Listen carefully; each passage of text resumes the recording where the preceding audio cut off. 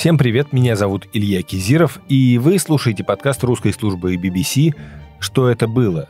В нем, начиная с 24 февраля, мы говорим о войне и ее последствиях. Сегодня мы сделаем исключение и поговорим о том, что происходит в последние дни и даже в последние месяцы в Израиле. А там происходит беспрецедентного масштаба акции протеста из-за законопроекта о реформе судебной системы – Понедельник был днем общенациональной забастовки, и вечером в этот день премьер Израиля Беньямин Нетаньяху объявил о заморозке реформы до летней сессии Кнессета. Почему судебная реформа вызывает такие протесты, такое недовольство у израильтян? Сегодня мы поговорим об этом с политологом, в прошлом дипломатом Михаилом Пелевертом. Он сейчас со мной на связи из-под Иерусалима. Михаил, здравствуйте. Здравствуйте, Илья. А вы можете рассказать, как э, выглядели сами протесты? Кто в них принимал участие? Да, протесты продолжаются уже 13 недель. Они проходят э, практически во всех крупных городах. Хайфа, Нетания, Тель-Авив, Аждод, Иерусалим, Решон Лицеон и в других. В каждом городе э, протест выглядит чуть иначе. Это связано с демографией того или иного Э, города. Если, э, скажем так, что в Тель-Авиве протест э, в основном светский, а также в нем участвует большое количество представителей ЛГБТ-сообществ, то, например, в Иерусалиме протест более консервативный, и среди митингующих можно увидеть гораздо больше религиозных людей, которые, несмотря ни на что, приходят протестовать против нынешнего консервативного правительства. И протест в Израиле оказался эффективным, э, в том числе из-за того, что в нем приняли участие очень влиятельные представители армейской, я бы сказал, так, элиты. Угу. В Израиле э, действует обязательно призыв, и во многом э, армия основывается на резервистах, а не на срочниках. В Израиле есть резервисты, которые проходят эм, э, службу и глубоко после 40, и 50-летние. Эти люди, на которых эм, э, основывается в том числе и сила военно-воздушных сил Израиля. В какой-то момент они заявили, что э, отказываются проходить резервистскую службу в случае, если эти законы будут приняты. Это могло иметь очень большое влияние Э, негативное на э, боеспособность э, израильской армии.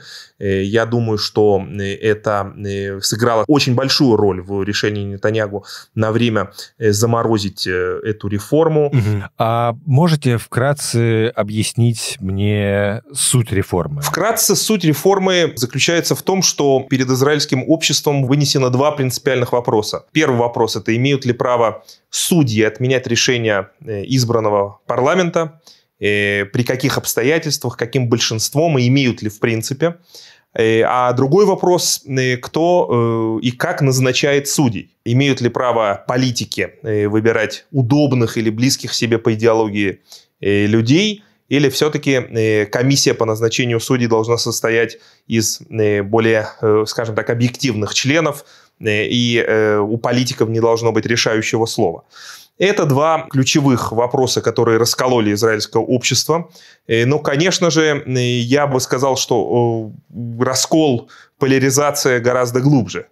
Это, э, я боюсь, не вопрос о техническом назначении судей, а о делении Израиля на два более не менее э, одинаковых по своей численности лагеря лагерь условно, скажем так, либералов и лагерь условно консерваторов.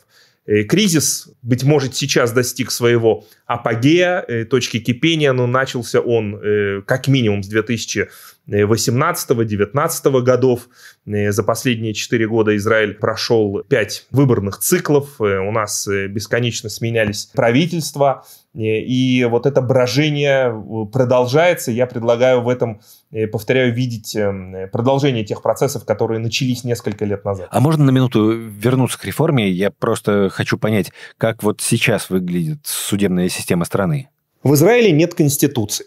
У нас есть основные законы, э, которые в какой-то момент по задумке основателей государства должны были превратиться в полноценную конституцию, но до сих пор израильская политическая система не нашла в себе сил написать э, и э, прийти к какому-то общему знаменателю по поводу Конституции. В этой ситуации, как вы понимаете, у суда э, есть возможность трактовать часть израильских законов по своему усмотрению. В ситуации, когда, повторяю, любое случайное большинство в парламенте может изменить закон, принять новый закон, э, отменить какой-либо параграф, признать то или иное действие конституционным или неконституционным, и очень часто арбитром при решении тех или иных вопросов, иногда очень административных, становится именно Высший суд справедливости. Высший суд справедливости э, у нас является, по сути, и э, конституционным судом, даже несмотря на то, что Конституции у нас нет. Сегодня э, его состав назначается комиссией из 9 человек, в которой у политиков и у судей э, есть возможность заблокировать назначение того или иного кандидата, угу. потому что из 9 человек необходимо большинство в 7 голосов, чтобы назначить судью. Это с одной стороны. С другой стороны, э, суд за всю э, свою 75-летнюю историю существования государства Израиль отменил 22 закона, которые были приняты правительством. Он, э, несмотря на то, что считается многими консерваторами судом-активистом, активистским судом, который очень часто вмешивается в деятельность правительственных решений, в деятельность правительства, на самом деле по международному международному сравнению он активистским судом не является. В, в Америке, в Германии, э, во Франции, в Голландии суды отменяли гораздо больше э, правительственных решений, чем в Израиле. Э, я бы больше сказал, что кризис связан повторяю, не с вопросом о том, имеет ли право суд отменять решение правительства и кто должен назначать судей, сколько очень глубокая поляризация общества между повторюсь, условными либералами и условными консерваторами. Чтобы понять вообще происходящие в Израиле процессы, надо познакомить наших слушателей немного с демографией нашей страны. Большую часть э, существования страны, скажем так, светские, составляли э, большинство израильского населения. В последние годы мы видим э, обратную тенденцию. Если в среднем у израильской светской семьи около трех детей – то у религиозной э, семьи 6.6. Это, э, в принципе, очень высокие, э, я думаю, даже одни из самых вы, высоких в мире показателей естественного демографического прироста. Вы сейчас говорите об ультраортодоксах, да? Я сейчас говорю об ультраортодоксах, которые сегодня составляют около 11% израильского общества, тогда как Израильское статистическое бюро, официальная правительственная структура которая занимается статистическими э, исследованиями, говорит э, о том, что к 2045 году, быть может даже раньше, быть может позже, ну около, скажем так, где-то через 20-25 лет религиозное население Израиля будет составлять уже около 30%. Это будет, конечно же, невероятная демографическая катастрофа и коллапс. Как минимум в том смысле, что ортодоксы в Израиле живут очень замкнутой жизнью. Они практически практически не смешиваются угу. с э, другими иными группами израильского населения. Они очень плохо, слабо задействованы на рынке труда. Они не участвуют в, э, в обязательной службе в армии.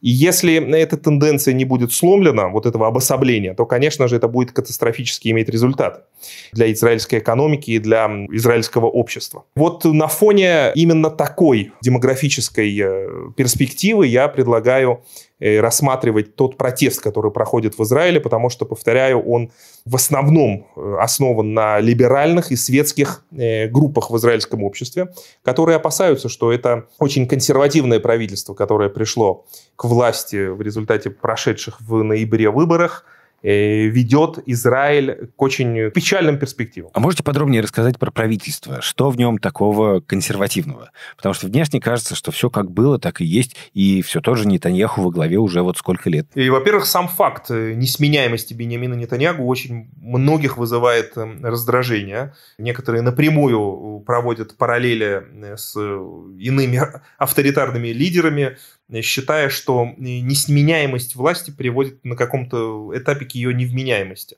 Нетаньягу, да, он, э, я уже об этом говорил, что он шестую коалицию возглавил в своей политической карьере. Он э, уже обошел Давида Бенгуриона, первого премьер-министра Израиля, по сроку пребывания на главном посту э, в стране. Это первая претензия к Бенамину Нетаньягу со стороны условного либерального израильского общества. И вторая претензия – это к его партнерам по коалиции – Э, речь идет о э, ультраправых религиозных партиях. Э, религиозные сионисты – это одна партия, партия ШАС, ортодоксальные партии, партия крайне правого толка, которую многие в Израиле считают фашистской партией, партия Бенгвира, который занимает пост министра национальной безопасности, претензиях к вот э, архиконсерваторам, ультраконсерваторам, которые, как боятся либералы, приведут Израиль к ситуации, в которой она перестанет быть либеральной демократией. Я не готов прогнозировать, что Израиль быстро скатится к диктатуре, но вполне вероятна ситуация, что в самом ближайшем будущем эта коалиция постарается сделать так, чтобы Израиль перестал быть э, либеральной демократией. Третья претензия э, связана с тем, что Бенемин Нетаньягу и его ближайший э, союзник, глава партии ШАС Ария Дери, э, находятся в конфликте интересов в результате того, что израильская прокуратура ведет против них уголовные расследования. Против Нетаньягу эти дела еще не пришли к своему логическому заключению. Против Арии Дери уже был вынесен обвинительный приговор. Он в начале 2000-х даже сидел Э, в тюрьме отбывал реальный срок. В последние э, годы против него было вынесено условное обвинение с условным наказанием. И, конечно же, это вполне понятно, почему многие считают, что человек, чья политическая карьера зависит от э, судебной власти, не может, находясь под расследованием, принимать решения относительно этой судебной власти. Вы уже назвали эту коалицию крайне правой, а как она проявила себя вот в таком качестве? Э, какими-то законами, законопроектами? Прежде всего, эта коалиция собирается принять ряд законов, э, которые э, перенесут центр власти в гораздо большей степени к политикам, у нас будет меньше, менее сбалансированные отношения между различными ветвями власти. Именно с этим связано их желание поменять состав комиссии по назначению судей, Э, чтобы политики в ней э, смогли назначать удобных им кандидатур, э, чтобы Кнессет э, имел э, решающее слово, э, в отличие от нынешней ситуации, когда суд может отменить тот или иной закон. Угу. И это связано с э, большим э, блоком законов, которые будут основаны на э, религиозной иудейской традиции. Сегодня многие представители вот правых кругов не скрывают своего желания привести к ситуации, когда израильское законодательство будет отражать э, законы Торы. Ради примера можно назвать э, вопрос о, о том, что службу в армии надо приравнять к изучению Торы в Ешивах, и вопрос о наличии гендерно-раздельных пляжей, и вопрос э, о том, кого считать евреем. По этому поводу в израильском обществе тоже нет консенсуса. Вопрос о том, насколько, например, законы субботы э, можно будет э, нарушать, будет ли у нас транспорт по религиозным праздникам и так далее. Это все вызывает у э, либерала, конечно же, большое отторжение, большую настороженность. В ситуации, когда в Израиле продолжается очень сложный конфликт с палестинцами. Это фон, который еще больше осложняет ситуацию. Так или иначе, э, в данном случае в Израиле сегодня есть процесс, который, с одной стороны, я бы назвал пробуждением либерального израильского общества, э, общество, которое требует э, принять конституцию, которое требует отделить религию от государства, которое требует, например, права расписываться как гражданская процедура. Сегодня в Израиле расписаться можно только в равинатских, мусульманских или христианских учреждениях. Э, и во многом мы можем провести вот эту разделительную линию по принципу светские против религиозных.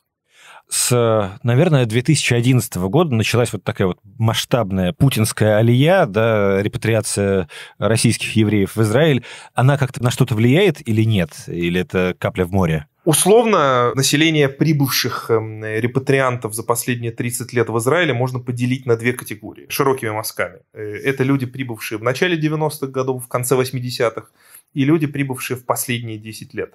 Вторая э, часть э, гораздо более политически активна. Угу. Они уже были даже замечены участвующими в проходящих митингах и протестах они выросли в демократическом обществе в большинстве своем и считают себя политически активными людьми, видят в этом саму по себе, скажем так, нормативную ценность.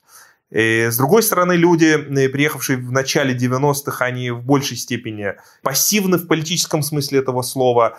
Они считают в результате своего советского прошлого, что повлиять на власть мы и так не можем, наверху решают все без нас, на митинги ходят э, люди, которым делать нечего и так далее. Это достаточно распространенное мнение среди э, русскоязычного населения в Израиле. Но при этом можно было бы сказать, что русскоязычные в Израиле в своем большинстве являются светскими и э, в основном настроены достаточно антирелигиозно, то есть они выступают за светский характер государства, за отделение религии от государства. Ортодоксальные жители в Израиле вызывают у русскоязычных тоже немало негатива.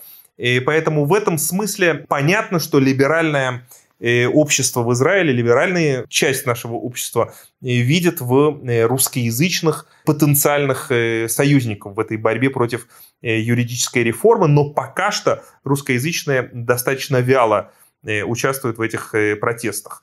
Кроме того, что русскоязычные в Израиле переживают э, иной кризис, связанный с э, началом войны э, в Украине. Многие люди не готовы отождествлять себя больше с русскоязычным населением и в большей степени подчеркивают, что они являются украинцами, белорусами, грузинами и так далее. Но это, скажем так, параллельный процесс, который все еще происходит, и, и на этом этапе сложно предсказать, чем он завершится. О каком количестве репатриантов вообще идет речь? В общей сложности мы можем осторожно назвать цифру от 12 до 15 процентов населения Израиля составляют репатрианты, приехавшие, э, повторяю, с конца 80-х годов. Есть несколько десятков тысяч человек, которые приехали еще в 70-е.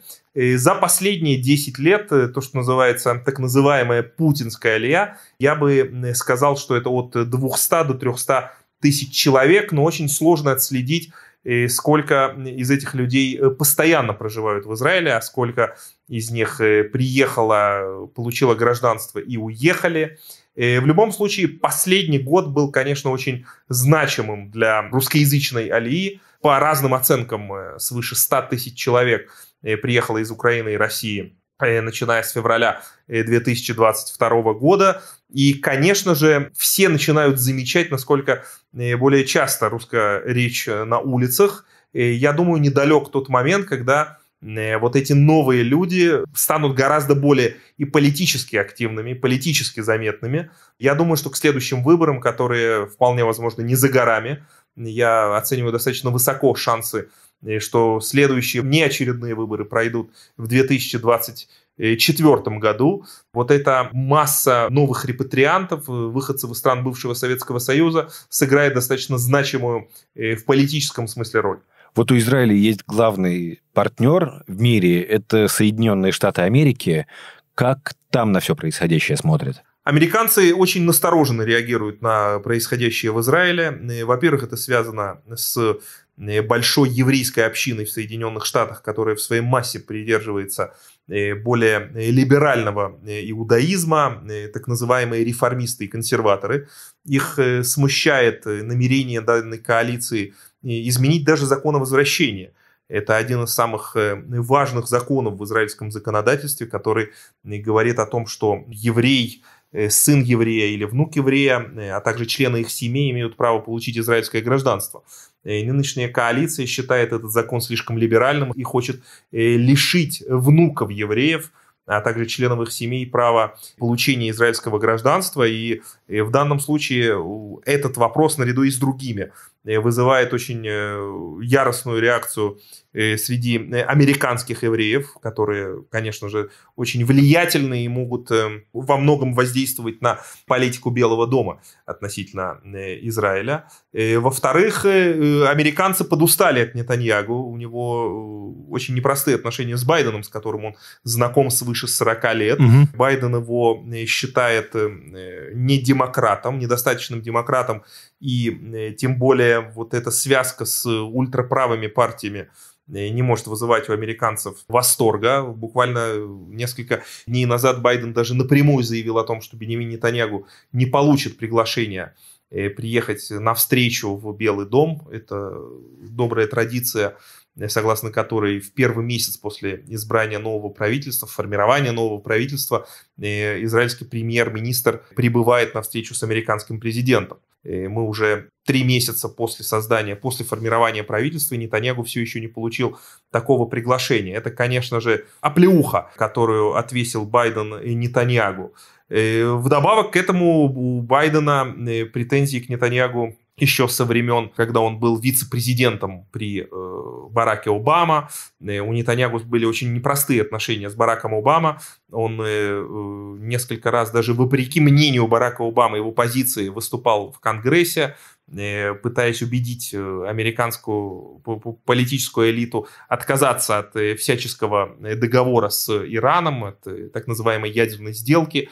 Барак Обама тогда считал, что Нетаньягу слишком вмешивается во внутренние дела Америки, настраивая американских евангелистов против избранного президента. Так что у них достаточно непростая история – и в личных отношениях. Кроме того, э, в Израиле оппозиция, которая э, сегодня представлена Яиром Лапидом, главой э, партии Еш Атид, пользуется большей симпатией американского лидера, американских политиков.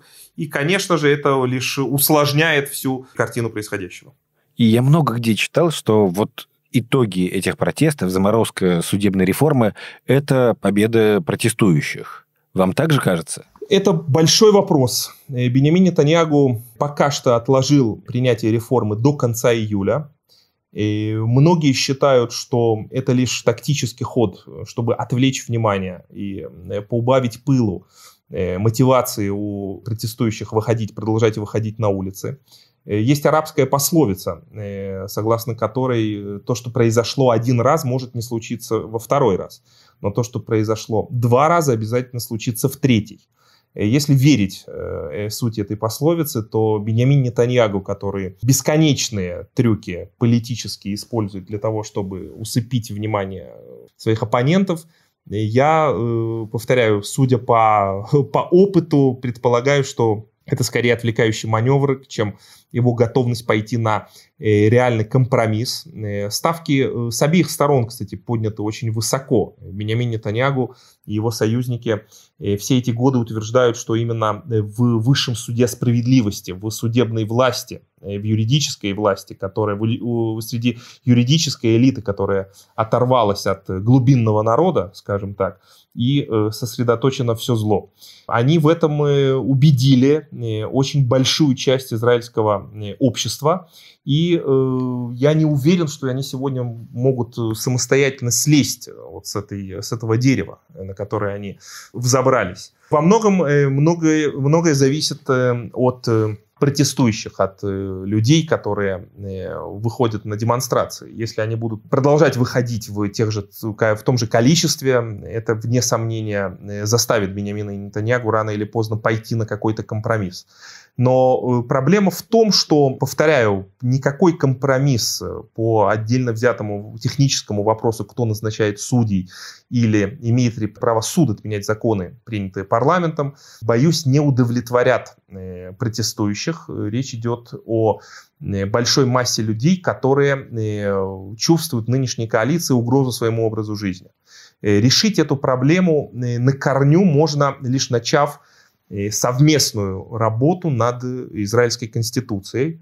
Я, кстати, хочу напомнить, что Израиль, который был создан в 1948 году, его первым основополагающим документом является Декларация независимости, в которой написано, что до 1 октября 1948 года Конституция должна быть принята. То есть это обещание присутствует в главном э, документе израильского государства. Это обещание э, от имени отцов-основателей. И э, мне кажется, это единственное, что может э, на, на много лет вперед решить, повторяю, все те узловые проблемы, с которыми израильское общество сталкивается в последние годы. В песне Леонарда Коэна «Гимна» Эм, есть такая фраза, что во всем есть трещина, но именно так внутрь проникает свет. Я, основываясь на этой песне, хочу остаться оптимистом в том смысле, что этот кризис, он вывел наружу все те Э, проблемы, с которыми израильское общество не хотело разбираться в течение последних э, десятилетий. И вполне возможно, что э, а этот кризис — это замечательное время начать, во всяком случае, залечивать эти глубокие раны. Спасибо, Михаил. Это был политолог Михаил Пеливерт. Вы слушали подкаст «Что это было?». Его можно найти на нашем сайте, в соцсетях, в Apple подкастах, на других платформах, в том числе и на YouTube. Подписывайтесь на нас, оставляйте оценки, ставьте лайки и комментируйте. Так о нашем подкасте узнает еще больше слушателей. Меня зовут Илья Кизиров. Всего доброго.